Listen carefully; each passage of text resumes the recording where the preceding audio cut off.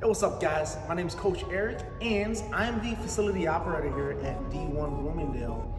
I was a soccer player back in the day, used to play left winger, like scoring goals and cutting in.